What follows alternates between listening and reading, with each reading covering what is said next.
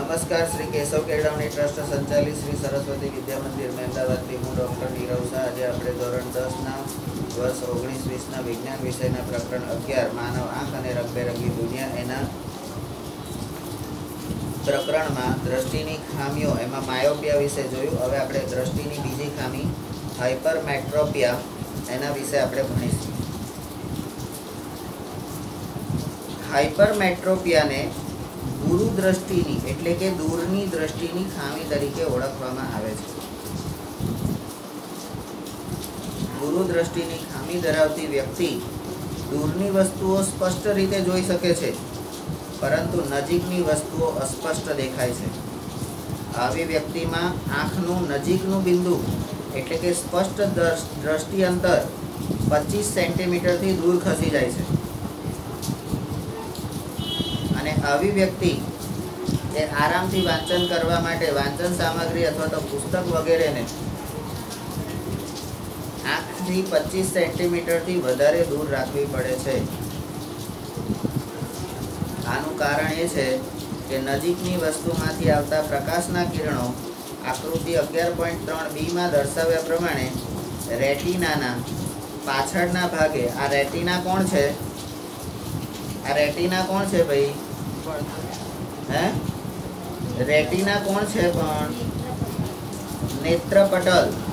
Retina કોણ છે હા, તો એ આપણને ખબર હોવી જોઈએ.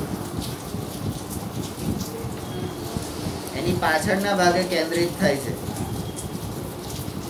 આ ખામી ઉદ્ભવવાના કારણો. તો અહીંયા પણ જે રીતે માયોપિયામાં જે મુદ્દા કાઢ્યા હતા, એ જ રીતના મુદ્દા અહીંયા પણ નીકળશે. બરાબર? ઉદ્ભવના કારણો આ છે. કે આંખની આંખના લેન્સની કેન્દ્ર લંબાઈ ઘણી વધારે હોવી. બરાબર? અહીંયા પણ કે શું છે, આંખના લેન્સની વક્રતા વધારે હોવી, અહીંયા કેન્દ્ર લંબાઈ વધારે હોવી, અથવા તો આંખનો ડોળો ખૂબ નાનો હોવો. આંખનો ડોળો ખૂબ નાનો હોવો. હવે જેની આંખો ઝીણી હોય ને ચાઇનીઝ, આ ચાઇનીઝ લોકો દૂરની વસ્તુ કમ્પ્લીટ જોઈ શકે. આમ આંખો ઝીણી કરીને. નજીકની વસ્તુ જોવામાં એમને તકલીફ થાય. બરાબર? તો એને ગુરુ દ્રષ્ટિની ખામી કહેવામાં આવે છે. નંબર સાત. આ ખામીનું નિવારણ યોગ્ય પાવરવાળા બહિર્ગોળ લેન્સથી થઈ શકે છે, જે આકૃતિ અગિયાર પોઈન્ટ ત્રણ સીમાં દર્શાવ્યું છે. અભિસારી લેન્સ ધરાવતા, અભિસારી લેન્સ ધરાવતા, હવે આ અભિસારી લેન્સ એટલે કયા લેન્સ અભિસારી લેન્સ એટલે? બહિર્ગોળ તો એ જ વસ્તુ તો આપણે આટલા વખતથી ભણીએ છીએ, એમાં શું ભણવાનું છે? આ તો ભણવાનું છે. અભિસારી લેન્સ ધરાવતા ચશ્માનો ઉપયોગથી નેત્રપટલ, હવે આ નેત્રપટલ એટલે આપણે એને રેટિના પણ કહેવાનું જ. એના પર પ્રતિબિંબ રચવા માટે વધારે જરૂરી, માટે જરૂરી વધારાનો ફોકસિંગ એટલે કે કેન્દ્રિત કરવાનો પાવર મળી રહે છે. બરાબર?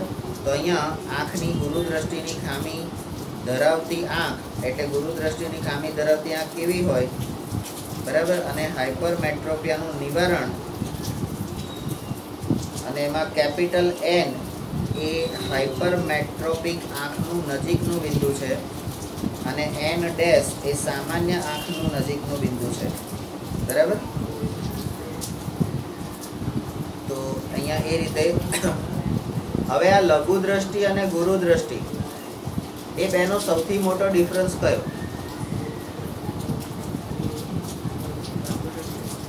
લઘુ દ્રષ્ટિ અને ગુરુ દ્રષ્ટિ એ બંનેમાં સૌથી મોટો ડિફરન્સ તફાવત શું છે? જે આપણે ખાસ યાદ રાખવાનું છે. કહેવાય છે લઘુ દ્રષ્ટિ. કહેવાય છે લઘુ દ્રષ્ટિની ખામી. એટલે સામાન્ય લોકો એવું સમજે કે લઘુ એટલે નજીકનું ના દેખાતું હોય. પણ એ લઘુ દ્રષ્ટિની ખામીમાં દૂરનું નથી દેખાતું. અને ગુરુ દ્રષ્ટિની ખામી એટલે મોટું, દૂરનું. પણ એમાં નજીકનું નહીં દેખાતું. તો આ સૌથી મોટો ડિફરન્સ છે. જો આ તમે મુદ્દો ના લખ્યો, એના સિવાયના તમે બધા મુદ્દા લખ્યા હોય ને તોય તમે એક જ માર્ક મળે ચારમાંથી. બરાબર? તો આ વસ્તુ ખાસ ધ્યાનમાં રાખજો. લઘુ અરે, દ્રષ્ટિની ત્રીજી ખામી છે પ્રેસ બાયોપિયા ઉંમર વધવાની સાથે જેમ તમારા લોકોની ઉંમર વધે ને એમ એમ, આંખની સમાવેશ ક્ષમતામાં ઘટાડો થાય છે.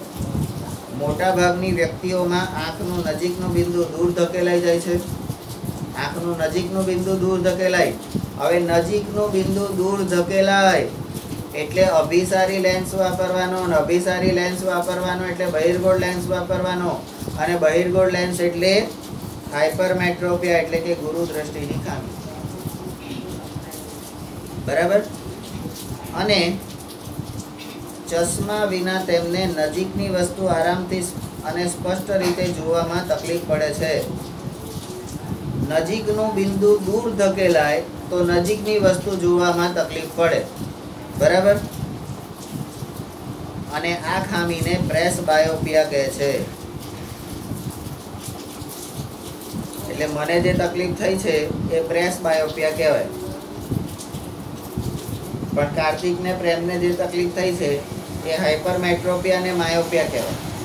બરાબર? હવે આ ખામી આંખના આ ખામી કેમ થાય છે? તો આંખના સિલિયરી સ્નાયુઓ નબળા પડવાથી અને આંખના નેત્રમળી એટલે કે લેન્સની સ્થિતિસ્થાપકતા ઓછી થવાથી ઉદ્ભવે છે. હવે તમને તો એવું શીખવાડ્યું હતું કે લેન્સ તો સ્ફટિકમય રચના છે. તો જોડે એવું શીખવાડ્યું હતું કે લેન્સ એ જેલી જેવો છે. તો જેલી એટલે રબર. અને રબર હોય ને, તો જ એની સ્થિતિસ્થાપકતા હોય. બાકી તમારી મારી સ્થિતિસ્થાપકતા હોય ના. તો આ સિલિયરી સ્નાયુ નબળા પડી જાય છે અને આંખના નેત્રમણી એટલે કે લેન્સની સ્થિતિસ્થાપકતા સ્થિતિસ્થાપકતા એટલે આપણે ચૂંટણી ભરીને છોડી દઈએ. પેલું ખેંચીને છોડી જતા પોતાની મૂળ સ્થિતિ પ્રાપ્ત કરે, તો એ સ્થિતિસ્થાપક કહેવાય. બરાબર? કેટલીક વાર વ્યક્તિ લઘુ દ્રષ્ટિની ખામી અને ગુરુ દ્રષ્ટિની ખામી એમ બંને ખામીથી પીડાય છે. કેટલાક લોકોને એવું હોય નજીકનું ના દેખાતું હોય દૂરનું ના દેખાતું હોય. તો એના માટે શું કરવાનું? તો કે આવી વ્યક્તિને દ્વિકેન્દ્રી લેન્સ એટલે કે બાયફોકલ લેન્સની જરૂર પડે છે. કેટલાક લોકોના લેન્સમાં આમ નીચે ને ઉપર આમ બે અલગ અલગ કાચ હોય છે. બરાબર? તો એને દૂરનું ના દેખાય, નજીકનું ના દેખાય. બરાબર? મારે શું કરવું પડે? નજીકનું જોવા માટે મારે ચશ્મા પહેરવા પડે. નજીકનું જોવા માટે ચશ્મા પહેરવા પડે. પણ દૂરનું જોવા માટે મારે ચશ્માની જરૂર નથી. તો મારે ચશ્મા આવી રીતે પહેરવા પડે. કે અહીંયાથી જોવું તો દેખાય, અને આમ જોવું તો દેખાય. અહીંથી જોવું અહીંથી જોવું અહીંથી જોવું અહીંથી જોવું. પણ જે બિચારાને બેયની તકલીફ હોય તો એને બાયફોકલ લેન્સ પહેરવા પડે. એટલે નીચે જુએ ને તો એને નજીકનું દેખાય આમ ઉપર જુએ ને તો ઉપરથી એને દૂરનું દેખાય. બરાબર? એટલે બે પ્રોબ્લેમ સોલ્વ થઈ જાય. નંબર સાત. સામાન્ય પ્રકારના બાયફોકલ લેન્સમાં અંતર્ગોળ લેન્સ અને બહિર્ગોળ લેન્સ એમ બંને લેન્સ હોય છે. એમાં ઉપરનો ભાગ અંતર્ગોળ લેન્સ કારણ કે દૂરનું જોવાનું છે. ધરાવે છે અને તે દૂરની વસ્તી વસ્તુ જોવામાં મદદરૂપ થાય છે અને નીચેનો ભાગ એ બહિર્ગોળ લેન્સ ધરાવે છે જે નજીકની વસ્તુ જોવામાં મદદરૂપ થાય છે. આજકાલ મોડર્ન સાયન્સના જમાનામાં આજકાલ સંપર્ક લેન્સ સંપર્ક લેન્સને કોન્ટેક્ટ લેન્સ કહેવામાં આવે છે. એટલે ચશ્મા નહીં પહેરવાના. કોન્ટેક્ટ લેન્સ જેને આપણે સંપર્ક લેન્સ કહીએ છીએ અથવા તો શસ્ત્રક્રિયાથી વક્રીકાર ખામી, વક્રીકારક ખામી એટલે કે દ્રષ્ટિની ખામીને નિવારી શકાય છે. એટલે કોન્ટેક લેન્સ પહેરવાના, તો આ લેન્સનો કોન્ટેક ક્યાં હોય? સીધો આંખની કીકી જોડે. આ લેન્સ અહીંયા નાક ઉપર નહીં પહેરવાના. કઈ પહેરવાના? આમ કરીને આંખની કીકીમાં આમ અહીંયા લગાડી દેવાનું. બરાબર? એટલે એ ગોળાકાર ત્યાં આગળ જાય, એટલે સીધો અંદર, એટલે બહાર કોઈ ખબર જ ના પડે કે લેન્સ પહેર્યો છે. પણ આપણે કોઈએ લેન્સ પહેર્યો છે કે નહીં પહેર્યો? કેટલાક લોકો લગ્ન કરવા આવે ને ત્યારે આવું બધું છુપાવે. ચશ્મા હોય તો એ જગ્યાએ લેન્સ પહેરીને આવે. ખબર ના પડે પણ આપણે એને જોવો હોય કે ભાઈ આની લેન્સ પહેર્યો છે કે નથી પહેર્યો?